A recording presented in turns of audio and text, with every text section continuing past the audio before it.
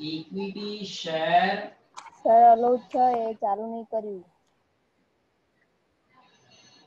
મૂડી ખાતે અને તે બેંક ખાતે.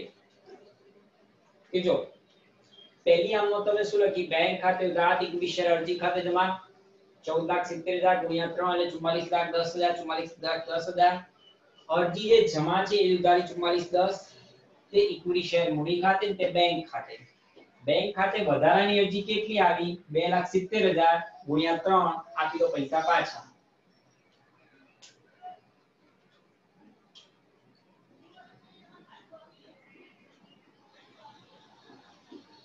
સત્યાવીસ એક્યાસી, આઠ લાખ દસ હજાર. દસ ગયા ચુમ્માલીસમાંથી આઠ એટલે વધ્યા કેટલા? છત્રીસ લાખ. ચુમ્માલીસમાંથી આઠ, દસ બાદ કર્યા અથવા બીજો રસ્તો. શેર મૂડીમાં શેર મૂડીમાં શેર મૂડીમાં હંમેશા જે શેર બહાર પાડ્યા હોય, એ જ ગણતરી કરવાની હોય. બાર લાખ. ગુણ્યા કેટલા? ત્રણ. બાર લાખ ગુણ્યા ત્રણ, બાર તરી છત્રીસ લાખ રૂપિયા થઈ ગયા. હવે મંજૂરીની આમ અરજી શબ્દ કાઢી નાખો. ઇક્વિટી શેર મંજૂરી ખાતે તે ઇક્વિટી શેર મૂડી ખાતે જમા કેટલા? તો બાર લાખ શેર બધી જ ગણતરી બાર લાખ કરવાની. ગુણ્યા મંજૂરીના કેટલા? ચાર. બાર ચોક અડતાલીસ લાખ રૂપિયા. ચોથી. અડધી શબ્દ કાઢી નાખો અને બેંક ખાતે ઉધાર તે ઇક્વિટી શેર મંજૂરી ખાતે જમા પરંતુ આકાશે બે હજાર શેર પર મંજૂરી નથી ભરી માટે આકાશ પર બે હજાર શેર નો અંડો બનાવીશું. આકાશ બે હજાર ગુણ્યા ચાર બરાબર આઠ હજાર શેર. એટલે આઠ હજાર રૂપિયા. અડતાલીસ લાખમાંથી બાદ કરવાના. અડતાલીસ લાખ, માઇનસ આઠ હજાર. અડતાલીસમાંથી આઠ હજાર બાદ કરો.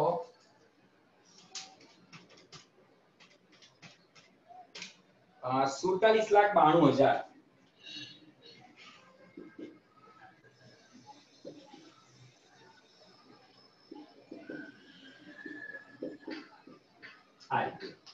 ચલો હવે પાંચમી આમ નોંધ આખરી હપ્તાની પ્રથમ અને આખરી હપ્તો.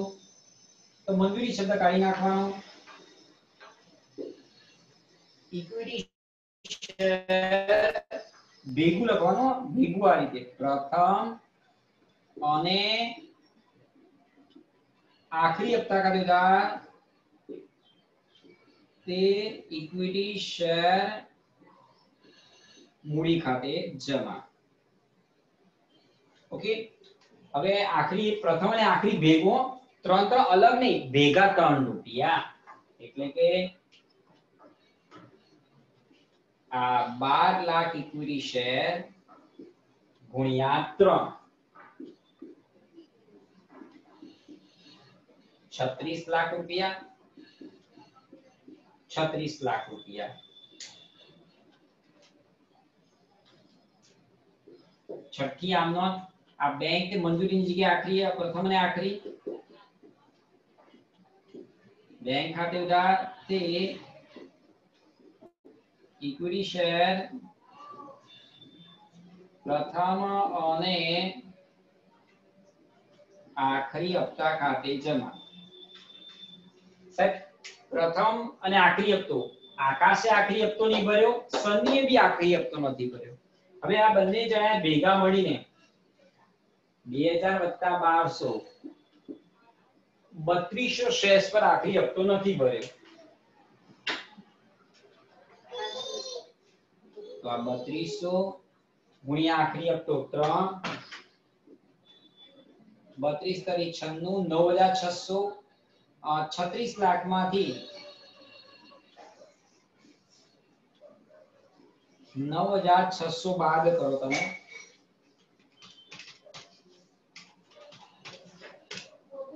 પાંત્રીસ લાખ નેવું હજાર ચારસો. પાંત્રીસ લાખ નેવું હજાર ચારસો. આ રીતે. હવે આ આકાશ અને સન્ની બેના શેષ તમારે જપ્ત કરવાના છે. અને એ જપ્ત કરવાની આમ નોંધ લખાય એ અહીંયા લખું. સર માઇન એડ કરજો ને. શું થયું માઇન એડ કરો સર એવું છે? તો હોસ્ટ નહીં બનાવે એટલે આ કોઈનો હોસ્ટ બનાવી દઈએ?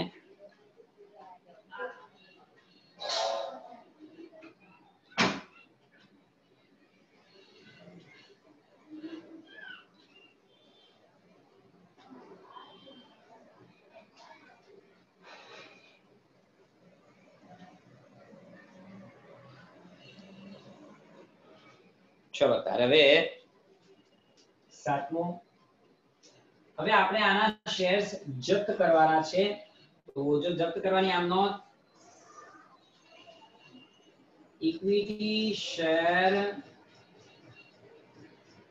મૂડી ખાતે ઉધાર. તે ઇક્વિટી શેર જપ્તી ખાતે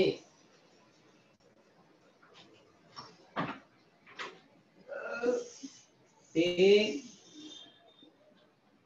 ઇક્વિટી શેર પ્રથમ અને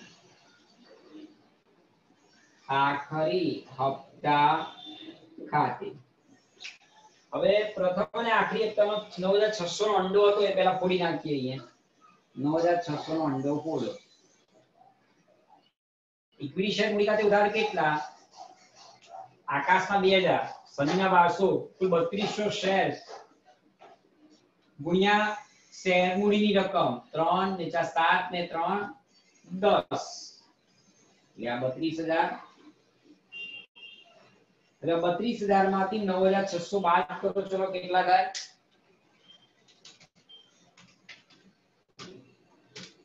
બાવીસ ચારસો. ઓકે. હવે આ શેર ફરીથી બહાર પાડવાની આમ નોંધ બેંક ખાતે ઉધાર. ઓકે. ઇક્વિટી શેર જપ્તી ખાતે ઉધાર. તે ઇક્વિટી શેર મૂડી ખાતે જમા સાહેબ, હમણાં આની આગળનો જે દાખલો ગણાય ને, એમાં તમે આ જપ્તી ખાતે નતું લખ્યું આમાં લખ્યું. અમને શું ખબર પડે કે ક્યારે લખવાનું, ક્યારે નહીં લખવાનું? શેર ફરી બહાર પાડતી વખતે? કારણ, ગયા દાખલામાં 80 રૂપિયા શેર ફરી બહાર પાડ્યો તો, એટલે 10 થી વધારે. આ દાખલામાં તમને કંઈક 7 રૂપિયામાં 10 થી ઓછા 7 રૂપિયામાં બહાર પાડ્યો. 10 થી ઓછામાં બહાર પાડીએ, તો અહીંયા જપ્તી આવે. 10 થી વધારેમાં ફરી બહાર પાડીએ, તો જપ્તી ના આવે. હવે શેર મૂડી તો ઉધાર કેટલા? 32 તો એ જમામાં કરી નાખવા આ 32 ઓકે બેંક ખાતે કેટલા? તો બેંક ખાતે આ જે છે ને 32 તો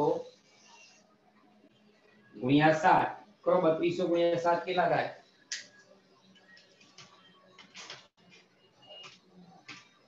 બાવીસ ચારસો. ઓકે હવે આ બત્રીસ હજારમાંથી બાવીસ ચારસો બાદ કરો તો કેટલા થયા? નવ હજાર છસો. આ છેલ્લી નવમી આમનોટ નવમી આમનોટ કઈ ખબર છે?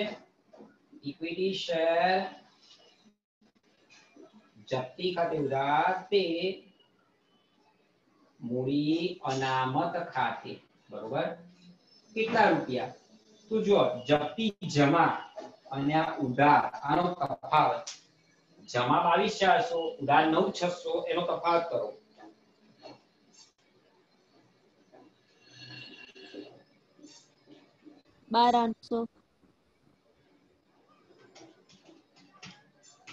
બાર આઠસો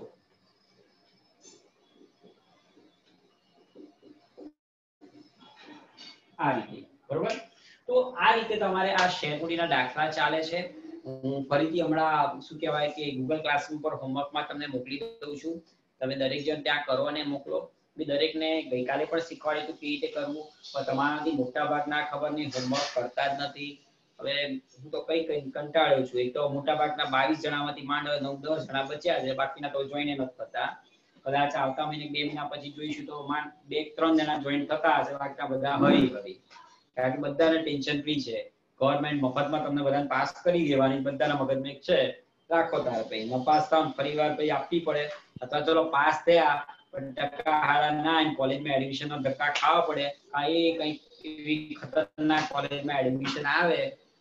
ત્યારે એ વખતે તો યાદ કરજો સાહેબ ના ભાઈ, સાહેબ ગાડો હતો, કે કે કરતો હતો ભાઈ વધારે કહીને એટલું તો પણ ટકા હારા લાવો ને ત્યારે એડમિશનમાં કોલેજમાં તકલીફ પડશે. કોલેજમાં એ બીકોમમાં લેવું હતું. બીજી કઈ કઈ ભૂલી જ જવાનું. ટકા ના લાયા તો બીજી કોઈ આગલી ફેકલ્ટીમાં ક્યાંય જવું હોય તો એ ભૂલી જ જજો. પતી ગયું કામ. ચલો તો આવજો. Bye tata. જય શ્રી કૃષ્ણ. ને હોમવર્ક સારું. ક્યાં આપ? સર મેં જોઈ લેજો પેપર મારું. સર જતા રે કેતા કેતા વિશાખાન પોપર સાચી વાત. મેં કીધું સર ના કહું જતા જ કેતા કેતા બાય બાય આવજો બધા.